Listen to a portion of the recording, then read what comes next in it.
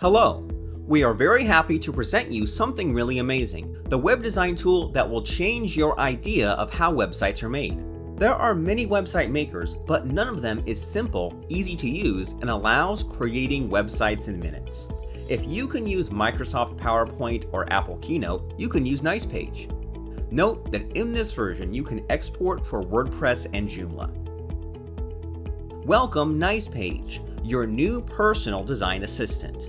Nicepage is available online as a Windows application and as a plugin for WordPress and Joomla. We will demonstrate Nicepage features using the desktop version as an example. We'll start with visiting nicepage.com website. Enter a valid email. Click the Getting Started button. On the next page, download the Windows application. Install Nicepage for Windows. Run Nicepage. Activate or continue the trial. Let's add a new page. You can create pages from scratch.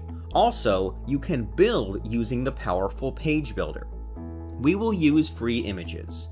You see images selected by default. However, you can select and unselect any number of images to be used for a website. Switch categories. Let's select Interior. Click Next. All those pages are not pre-made and generated on the fly automatically by Nicepage Intelligent Design Services. Let's filter the results by selecting Split and Colored in the top right. Finally, choose a page style. If you don't like the generated results, you can always use the pre-designed examples provided by our designer community. We can start with any of these samples, for example with this one. Let's start with the basics of the user interface of Nicepage. Start with the top bar containing the pages, the website settings, the theme menu, and the add menu at the center. To the right, you see the responsive modes, the preview, and the export. The web page navigator is located to the left. Here, you find website sections, including the header and the footer, the theme elements. Let's review the theme settings in details. Begin with colors. Select Theme Colors. In the reality, there are not that many websites that use more than 5 colors. Therefore, our palettes are created to cover the need for the color variety, allowing to express any color ideas. Let's choose this palette. Now these colors are available for all elements in the web page. Now modify the fonts. Our font schemes are created by picking from the most popular Google fonts and combinations. Select the font scheme. Next, we will define the typography. The typography sets change the text presentation on the page. The selected settings will be used for all texts by default. In addition, these typography elements are available in the text style list. The detailed type tuning for page elements is done in the heading and text. Select Theme, Heading, and Text. Proceed to the header. Since the header and the footer are part of the theme, you can reach them in the theme menu. However, it is more natural to click the header thumbnail in the navigator to the left. Let's select a header style with the text headline. Many modern websites have a header overlapping the introduction section, which changes the background to white while scrolling a page. First, we will select the header fill, as by default all sections are transparent, though it is not obvious since the background default color for a page in browsers is white. Make the header sticky on scroll. Enable overlapping, enable transparent, and inverted text color for the overlapping mode.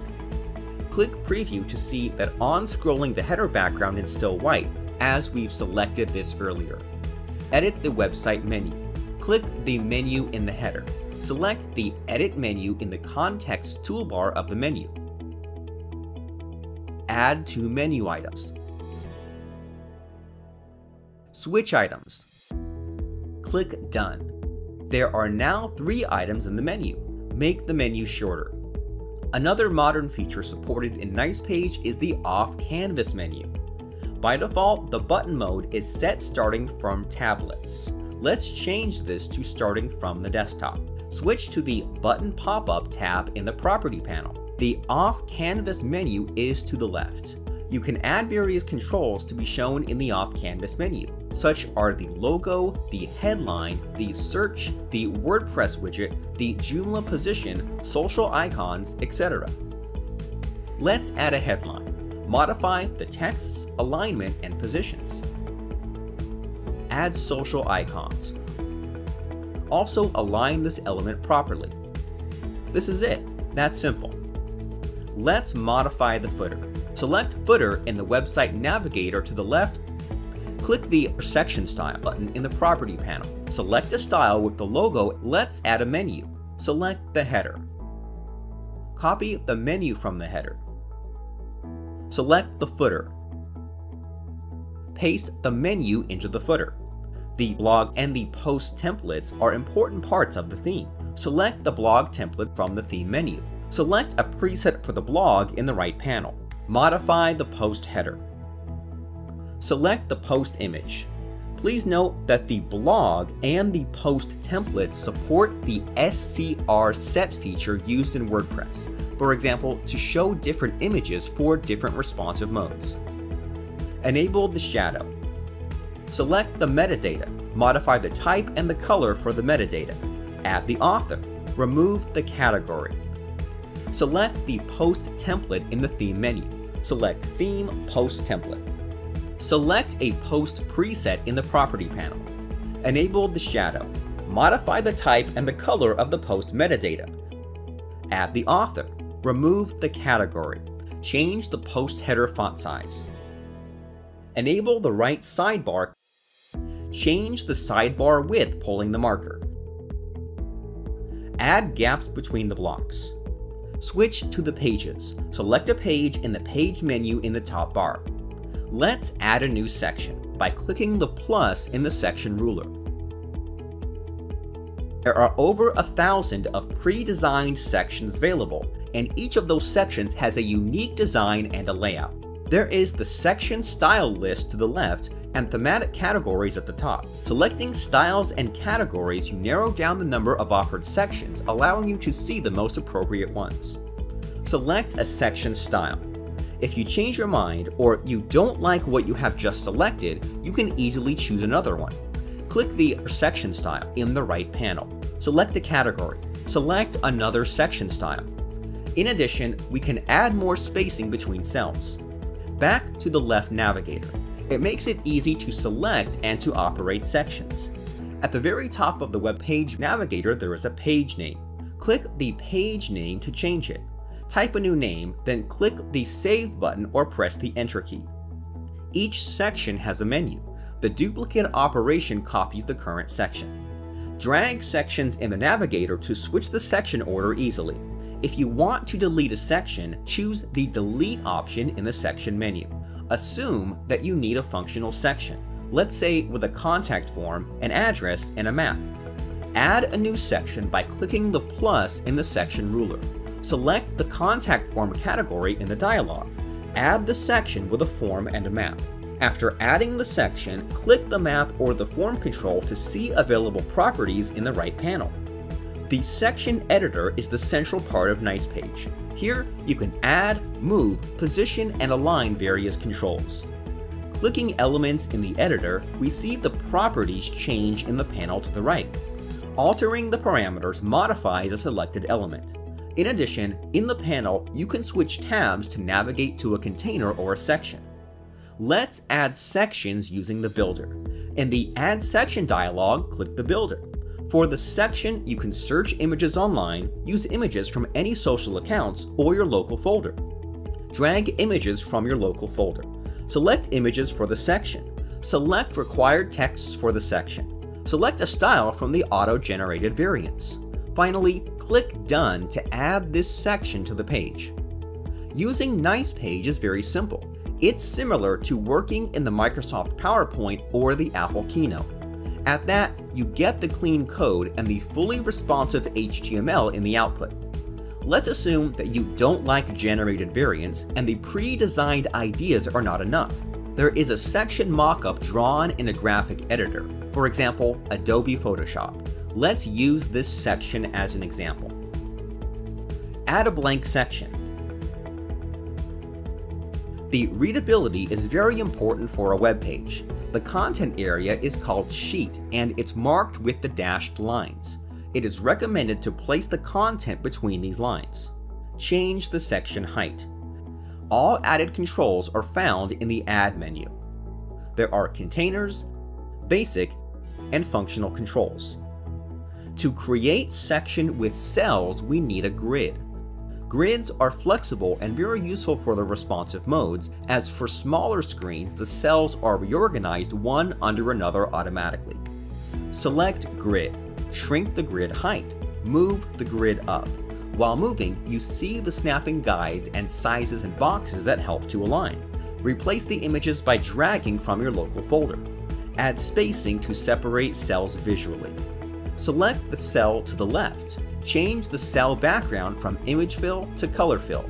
Collapse the image to make it a part of the content and expand image back to the cell background.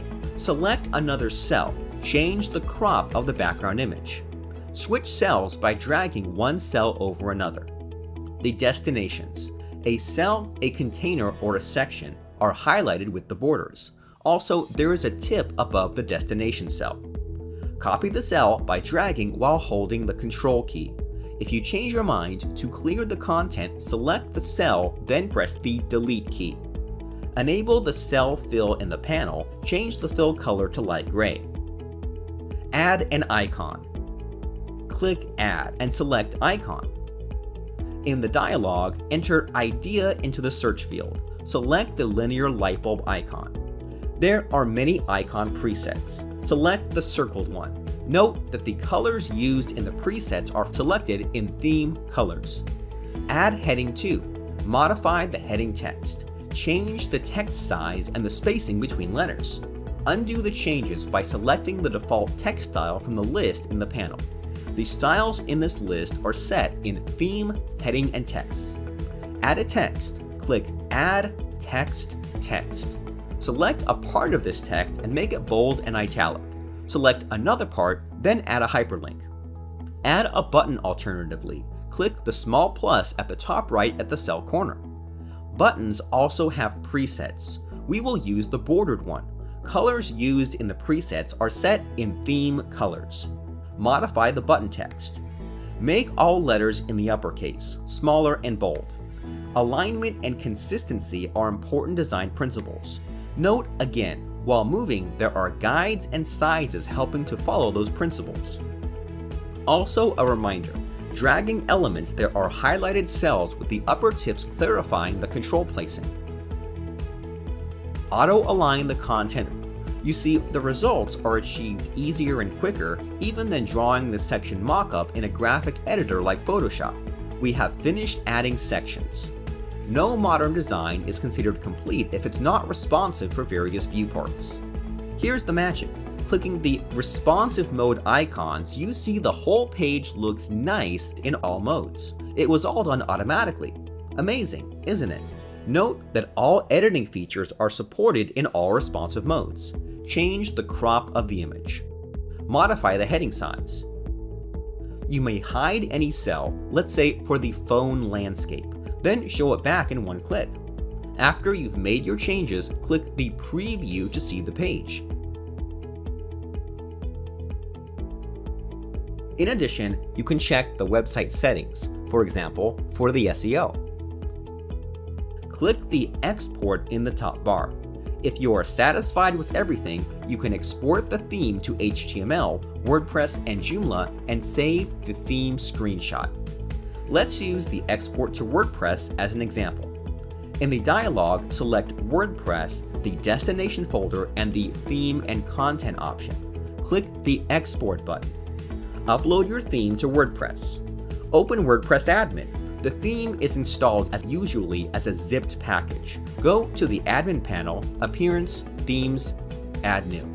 Click the Upload Theme button. Select the downloaded zip from your local folder. Install the theme. Activate the theme.